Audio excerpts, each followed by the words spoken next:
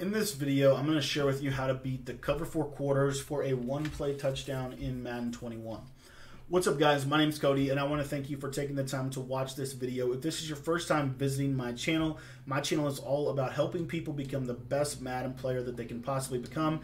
And so if you are looking to get better at this game, I just want to encourage you to click the subscribe button at the bottom right hand corner of your screen. It is completely free to subscribe and it just allows you to be able to stay up to date with the latest tips and strategies right here on the channel. All right, guys, so in today's video, we're taking a look at how do you bomb the cover four quarter. So we're going to be working out of that cover four show two today, and I'm going to be sharing with you a specific uh, money play that I love from my New England uh, U Trips offensive guide. This is why off trips pads. It's one of the most unique offenses in Madden 21. It's a, basically a, it kind of combines a little bit of trips tight end, a little bit of, um, a little bit of uh, bunch, a little bit of spread, a little bit of gun double, a little bit of everything um, is what this really does for you. But what you want to do is you want to sub your best wide receiver, the best wide receiver on your team. You want to make sure that he is on the left solo receiver side. For us, that's going to be Davante Adams with the route tech ability. But the play that we're going to be talking about is the PA fork. Now, if you want to get my U Trips offensive guide, um, you can get that for just $10. I just released it yesterday. You can get the full U Trips offensive guide for just $10. And I'm going to leave a link to that in the description of this video. You can be able to get that. But in today's video, we're going to specifically focus on how do you actually go about beating the cover four match defense whenever you're playing, um, uh, whenever using the U Trips offense. So here's how you're going to do it. What you're going to do is you're going to call the play PA fork. And that's pretty much all you have to do. There's really not an adjustment you have to make. What I like to do personally is I like to smart route the circle receiver. And then what I'm going to do here um, is I'm going to take that triangle receiver, which is your running back. I'm going to put him on a little out route. I'm going to take the X receiver, which is a tight end, and I'm going to put him on an out route as well. I'm sorry, the running back's going to go on an option route. Please forgive me for that.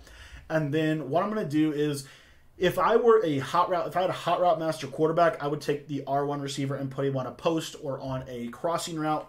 Because I don't, I'm just going to simply put him on a little slant. And I'm just going to motion this R1 receiver to the left. And what you're going to see here is that we're going to basically get a nice little one-on-one matchup uh, over the top. As you can see with this I, I, might have messed up my, one of my adjustments here. Let me let me make sure that I'm in the uh, the cover four quarters what's going to happen is that that square receiver, if he's your best receiver, okay, if he is your best receiver, he is going to do a really, really good job at getting open on the PA fork. Essentially, what we're going to create is we are going to create a mismatch, and uh, we're going to create a just a simple one-on-one matchup. So I'm going to audible down to cover four, show two here, and again, I just want you to watch. We're just going to show you this route to the square receiver.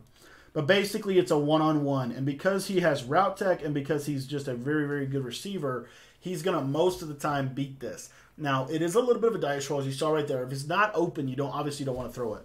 But let me show you. Um, if I run this, out of every four times that I run this, three of them will be one play touchdowns against quarters. So if you watch here again, there the double move, and then Parry Nickerson is definitely a little bit faster, so he's kind of he's kind of shaming me right now. But let me just let me just show it to you one more time here. um, hang with me. But if as and especially if he doesn't get pressed, like if they press out of this, it's it, it, it is better for the defense. Um, if they get a press win animation, they oftentimes won't. But here, see there, roast him over the top, and then of course. Uh, Parry Nickerson's actually killing me right now. I don't know why, because uh, I've ran this a million times and and it's very rarely happened this way. So let me show you this one more time. If not, I'll show you the rest of the play and uh, and we'll talk about that. But this square receiver you see here, I mean, typically there it is right there. You see that little glitch? That's what I was trying to get, and and I'll show you this at instant replay. So this is what happens. Again, it, it's about one every it's at least a 50%. Typically, it's a 75% time. Uh, 75% of the time, this is going to be a one point touchdown. This is exactly what's going to happen. So if you watch here, and it's whether it's press or not. So here he presses him, right? But right there, you see that? See how he goes this way? That's that's what happens. That's what happens, and that's really what you're trying to accomplish. It can happen whether they're pressed or not. They don't. It's not just because Davante Adams beat the press. As you saw in the first two examples, he beat the press and it didn't matter. Okay, so it doesn't exactly. It doesn't just mean like if they beat the press, this thing is going to work. Okay, it's like right here. I'll show you. I'll back him up, and I just want you to watch. Uh, see if we roast him again. And that time, you know, And most of the time, like right there, I mean, Rodgers underthrew it a little bit, but most of the time he's going to win, even if he doesn't have like, you know, 30 yards of separation. So I'll try to show you an example of that. Um, so you see here, just that right there gets over the top, and then we're just lobbing it. And then at that point, it's all about the swerve. As you saw right there, all about the swerve. You're just simply swerving the receiver back and forth a little bit and getting the ball out in front. That's what we're trying to accomplish. Now, um, as far as the rest of the play goes, again, if you put that option route out there, you do kind of the, all of these things here like this, then what you're going to see is it is going to shift it a little bit, but typically this is still going to burn it. As you can see here, you still have this isolated route over the top to Davante Adams, but now what we've created is we've created layers underneath that if that route does not work. So if that route, for whatever reason, does not work, we have solutions. And that's why the U-trips is so powerful. So um, we're going to use this motion slant. We're going to use this um, this route to the X receiver here. Um, you're going to see the the um, the running back can be playmakered over over um, to the left side. You can easily playmaker the running back. Um, so you can just do you know pretty much anything that you want.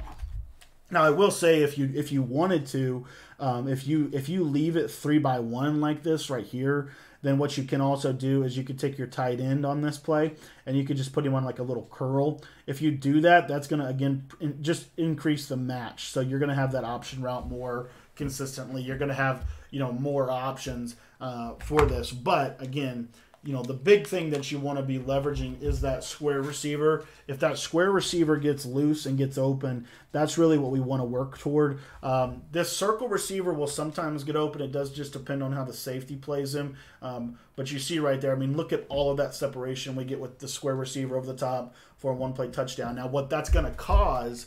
Uh, the natural byproduct of that is an adjustment from the defense, and typically, what that adjustment is going to look like is a deep half of that left side safety. So if they do something like that, then it's going to continue to kind of unravel this defense as you start to pick the defense apart. Now you're going to be able to see. And I don't know why we're. I don't know why the. I don't know why we're getting 15 million uh, pressures at me, but now what you're going to see once they start to deep half is you're going to be able to hit your motion slant. You're going to be able to hit your tight end out route. You're going to be able to hit your option. You know, all of those things are going to start to open up. So again, here you'll see it.